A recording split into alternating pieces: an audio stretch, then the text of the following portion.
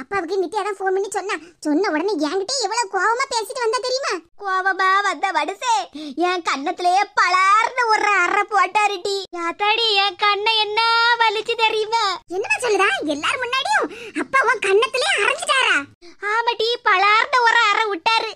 கொஞ்ச நேரத்துக்கு என் காதுக்குள்ள கொயங்கன்னு சவுண்டு கேட்டுக்கிட்டே இருந்துச்சு.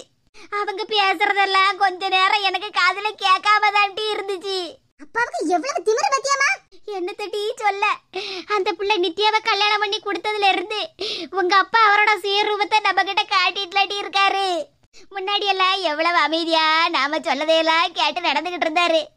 இப்ப நம்ம ரெண்டு பேரையும் ஒரு மனுஷியாவே நினைக்க மாட்டேக்காருடி அதுக்கு நித்யா நல்லா சந்தோஷமா இருக்காள்ல? அதனால தான் அப்பாவுக்கு இவ்வளவு திமிரு கூடி போயிட்டு. அந்த நித்யா அந்த வீட்ல நிம்மதியாவே இருக்க கூடாதுமா போதுமடி இது வரைக்கும் நாம போட்ட ஐடியாலாம் போதும். இதுக்கு மேலே என்னால உங்க அப்பா கிட்ட அடியெல்லாம் வாங்க முடியாதுடி. ஆ! அந்த காயத்திரி மேனி தைலத்தை எடுத்துட்டு வந்து என் தலையில தேய்ச்சி விடுடி. நடு மண்டையிலேயே கொப்பளம் கிடக்க வீங்கி போய் கிடக்கு. அந்த நாலு குந்தாணிகளுக்கு எவ்வளவு திமிரு? எங்க அம்மாவுக்குன்னு கேட்கறதுக்கு யாரு இல்லைன்னு நினைச்சிட்டாங்களோ? நான் இருக்கேன். இந்த மலரு எங்க அம்மாவுக்காக நான் கேட்பேன். மறுபடியும் முதல்ல இருந்தா! இங்க பாருமா உன்னை இப்படி எல்லாரும் முன்னாடியும் அழ வச்சு வேடிக்கை பார்த்தவங்கள நான் சும்மாவே விட மாட்டேன். எடி மறுபடியும் என்னடி பண்ண போறா? உனக்குன்னு கேட்கறதுக்கு நான் இருக்கேம்மா. யாரு இல்லைன்னு அவங்க நினைச்சிட்டாங்களோ? நீ இங்க தாம்டி இருப்பா. உனக்கு பதிலா நான் தாம்டி எல்லார்கிட்டயும் அடி வாங்கிட்டு வருவேன். இனிமேல் யாருகிட்டயும் அடி வாங்குறதுக்கு என் உடம்புல தெம்பு இல்ல ஆவியும் இல்லடி. என்னம்மா நீ எவ்வளவு தைரியமான ஆளு?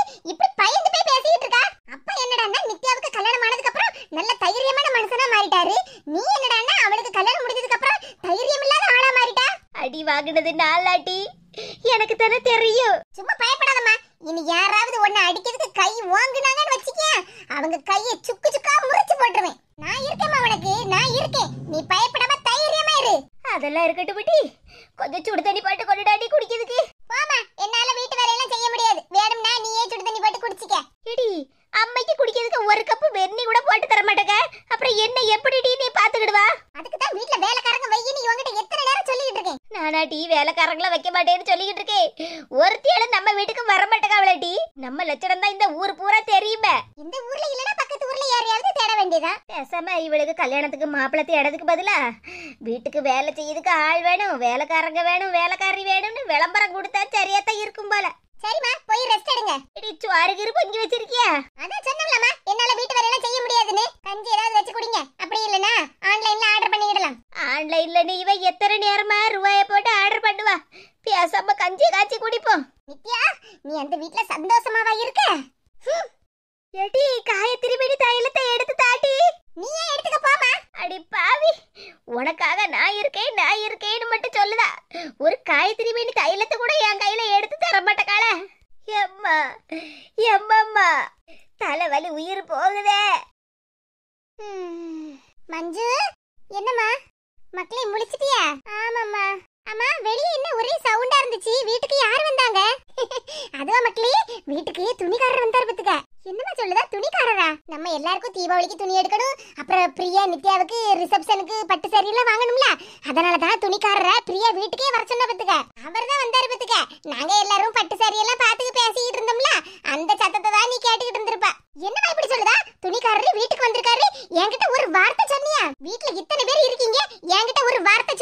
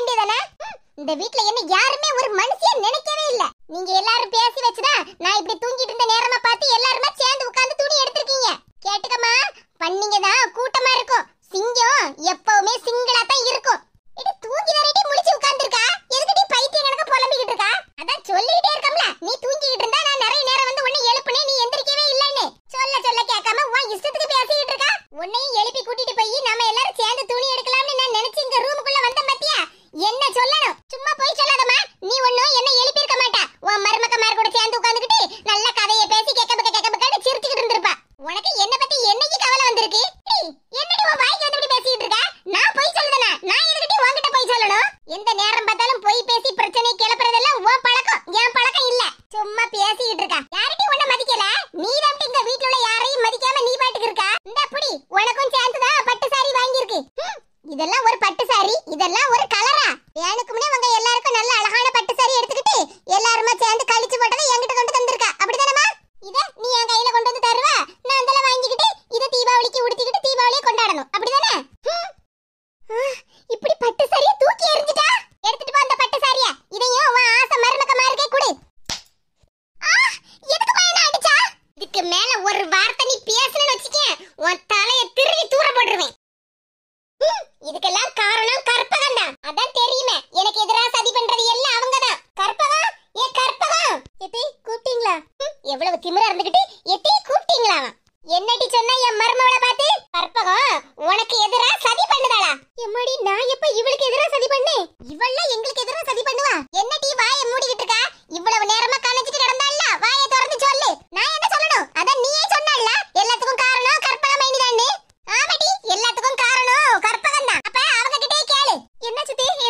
பிரச்சனையா பட்டு சாரி கையில வச்சிருக்கீங்க?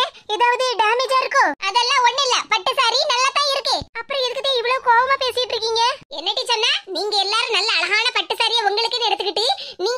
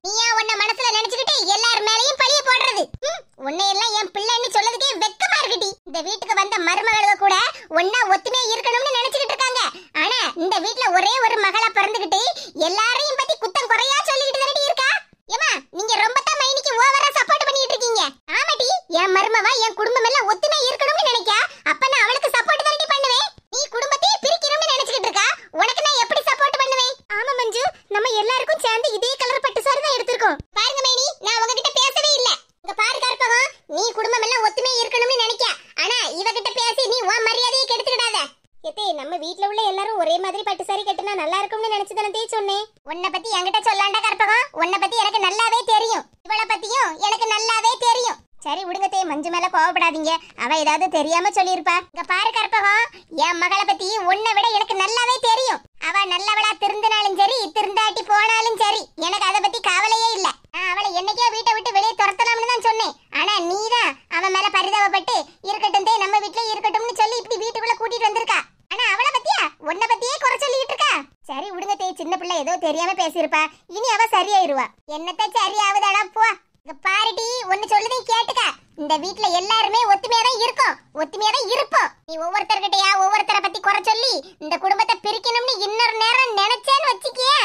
அப்புறம் என்ன செய்வேன்னு எனக்கே தெரியாது. உனக்கும் சேர்த்து பட்டு சாரி எடுத்த மத்தியா அதான் தப்பு. உன்னை அப்படியே விட்டுருக்கணும். பட்டு சாரி தானே வேண்டாம் நல்லா இல்லைன்னு சொன்னா அப்படியே இருந்துட்டு போட்டும் இந்த கற்பகம் இந்த பட்டு சாரி எடுத்து என் பீரோல கொண்டு வை தீபாவளி அன்னைக்கு யாராவது நம்ம வீட்டுக்கு வருவாங்க அந்த பிள்ளைக்கு இதை கிஃப்டா கொடுத்துக்கிடலாம் ஆ சரிங்க தே எவ்வளவு கொழுப்பு இருந்தா இந்த மஞ்சு இப்படியெல்லாம் வாய் பேசுவா? இவளுக்கும் ஒரு பட்டு சாரி எடுத்து கொடுக்கணும்னு நான் நினைச்சேன் பாரு. அதுதான் தப்பு. தூக்க மாத்திர இன்னைக்கு சரியா வேலை செய்யலையே. மத்தியானம் ரெண்டு மணி தான் ஆச்சு இவன் நாலு மணிக்குள்ள எந்திரிப்பா. அதுக்குள்ள எந்திரிச்சு உட்காந்துருக்கா அடுத்தது ரெண்டு தூக்க மாத்திரையை எடுத்துட்டு வந்து இவன் வாயில போட்டுற வேண்டியதான் அப்பதான் வீடு நல்லா இருக்கும். நாங்களும் நிம்மதியா இருப்போம். இவெல்லாம் ஒரு பிள்ளையா? வெளியே ஏதோ சத்தம் கேட்க யார் வந்திருக்கா? ஆமா வீட்டுக்கு யாரோ வந்திருக்க மாதிரில சத்தம் கேக்கு நாமளும் போய் பாப்போம் ஏன்னா இந்த வீட்ல எனக்கும் உரிமை உண்டு. சம்மந்தி அம்மா வாங்க ஆ நல்லா இருக்கம்மா. நித்யாவுக்கும் மருமவனுக்கும் தலை தீபாவளி இல்ல. அதனாலதான் அவங்களுக்கு புது துணி பழம் எல்லாம் வாங்கிட்டு வந்திருக்கேன். என்ன அண்ணாச்சி நாங்க இதெல்லாம் உங்ககிட்ட வாங்கிட்டு வர சொன்னோமா? அப்படியெல்லாம் சொல்லாதீங்கம்மா. நீங்க என்கிட்ட சொல்லல. இருந்தாலும் என் மகளுக்கு செய்ய வேண்டியதெல்லாம் நான் செஞ்சுதானே ஆகணும். என் மக உங்க வீட்டுக்கு வந்ததுக்கு அப்புறம் தாம்மா சந்தோஷமா இருக்கா? நீங்க எதுக்குமே கவலைப்படாதீங்க அண்ணாச்சி நித்யா இப்ப எங்க வீட்டு பொண்ணு. நாங்க அவளை நல்லபடியா பாத்துக்கிடுவோம் கற்பகம் நித்யாவை கூப்பிடுமா? நித்யா உங்க அப்பா வந்திருக்காரு பாரு. எப்பா? நல்லா இருக்கே மக்களே. நல்லா இருக்கேன்ப்பா. நீங்க நல்லா இருக்கீங்களா? நீ நிம்மதியா சந்தோஷமா இருந்தா நானும் நல்லாதான் மக்களே இருப்பேன். வாங்க மாமா உட்காருங்க. ஆ சரிம்மா. மருமகன் என் வீட்டுல இல்லையா மக்கா? மாமா மருமகனை தேடுனீங்கல்ல. உங்க பின்னாடியே நிக்க பாருங்க. வாங்க மாமா. நீங்க வீட்டுக்கு வாரேன்னு ஃபோன் பண்ண உடனே ஆபீஸ்ல பெர்மிஷன் கேட்டுட்டு உடனே கிளம்பிட்டேன். அப்படியே மருமகனா சரி சரி. சோஃபால உட்காருங்க மாமா. ஆ, சரி மருமகனே நீங்களும் உட்காருங்க. எங்க போற நித்யா? அப்பாவுக்கு காஃபி எடுத்துட்டு வரலான்னு போறேன் மைனி. நீ ஒண்ணு போக வேண்டாம். நீ உங்க அப்பா கிட்ட உட்காந்து பேசிக்கிட்டு இரு. நான் போய் எல்லாருக்கும் காஃபி போட்டு எடுத்துட்டு வரேன். பரவாயில்ல மைனி. நான் போய் எடுத்துட்டு வரேன். இங்க பாரு நித்யா. வந்திருக்கிறது உங்க அப்பா. உன்கிட்ட பேசணும்னு நினைப்பாங்கல்ல? நீ உட்காந்து பேசிக்கிட்டு. நான் போய் காஃபி போட்டு எடுத்துட்டு வரேன். சரி மைனி. இது பேசிக்கிட்டு இருங்க. நான் போய் காஃபி போட்டு எடுத்துட்டு வரேன். சரி கருப்பகம்